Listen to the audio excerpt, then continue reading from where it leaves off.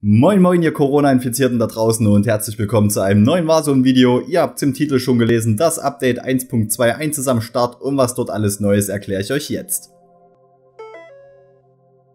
Als allererstes ein paar Eckdaten. Die Xbox- und PC-Spieler müssen sich 30 GB mehr auf die Festplatte hauen, die Playstation-Spieler haben es da etwas besser mit nur 20 GB. Die für mich traurigste Änderung im ganzen Update ist, dass der Stimulus Einzelmodus wieder entfernt wurde und der alte Solo-Modus wieder eingeführt wurde. Ich finde das sehr schade, weil es mir sehr gut gefallen hat, dass man mehrere Chancen hat. Im Trio- oder Vierer-Modus ist es ja ebenfalls so, dass eure Mitspieler euch mehrfach wieder kaufen können. Ich verstehe ehrlich gesagt nicht, warum man nicht einfach beide Modi hätte im Spiel lassen können. Schließlich wird die ganze Zeit mit über 60 Millionen Spielern geworben, also einen Engpass an Gamern hätte es auf jeden Fall nicht gegeben. Der Gulag wurde überarbeitet. Ja, ihr habt richtig gehört. Es gibt jetzt auch ARs und SMGs, mit denen ihr kämpfen könnt. Ich finde die Neuerung sehr, sehr geil. Zumindest macht es den Gulag um einiges vielseitiger, da man ja auch nicht zwingend damit rechnet, dass man Dauerfeuer an den Kopf kriegt in dem kleinen Gefängnis da drin.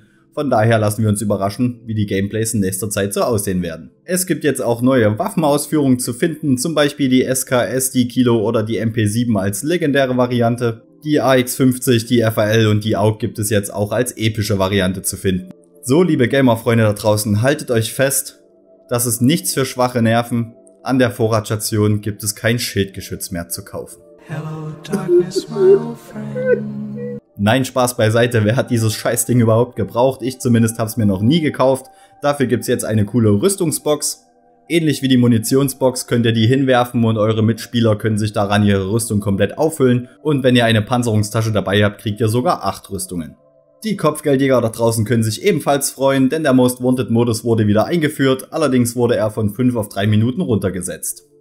Komplett neu hinzugefügt wurde ein klassischer Battle Royale Modus, der ohne Respawns, Gulag, Vorratsstation oder Aufträgen auskommt, sondern wirklich ganz klassisch einfach nur ballern, bis der letzte überlebt. An dem letzten Gaskreis hat sich auch etwas geändert. Bisher war es ja so, dass dieser sich gleichförmig geschlossen hat. Jetzt wurde da allerdings auch ein bisschen Bewegung mit ins Spiel eingebaut, sodass man nicht mehr nur noch campen kann. Ich finde, das macht auf jeden Fall das Endgame auch nochmal etwas spannender. Wer sich auf einen Duo Warzone Modus gefreut hat, den muss ich leider enttäuschen. Stattdessen wurde der Vierer Blutgeld Modus eingeführt. Ist zwar auch nicht schlecht für die Leute, die gerne Blutgeld zocken, aber effektiv warten wir doch einfach alle auf einen Duo Modus. Also Infinity Ward.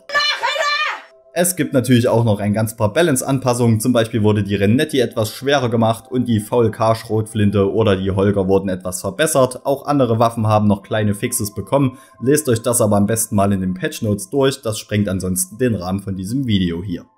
Es wurden natürlich auch ein ganz paar Bugs behoben, wie zum Beispiel, dass jetzt endlich wieder alle Spieler in der Lobby angezeigt werden und der Voice-Chat soll auch wieder ordentlich funktionieren. Es gibt natürlich auch noch ein ganz paar Neuerungen von dem Hauptgame Modern Warfare.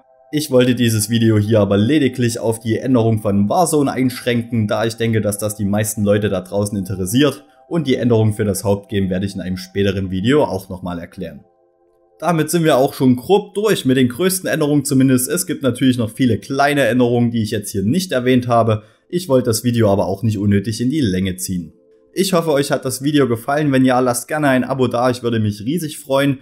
Daumen hoch wäre natürlich auch ein Träumchen. Und dann würde ich sagen, bis bald und bleibt gesund.